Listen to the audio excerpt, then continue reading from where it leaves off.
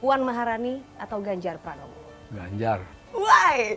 Mbak Puan kan ponakannya Mas To. Kan saya udah bilang, yang jadi presiden atau kepala negara Indonesia tidak harus keluarganya Bung Karno.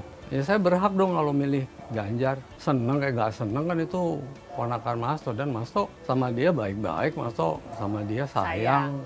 Mas To sama dia selalu bertindak sebagai pamannya. Tapi kalau dihubungkan sama politik, presiden apa gimana, Mas To punya pilihan sendiri.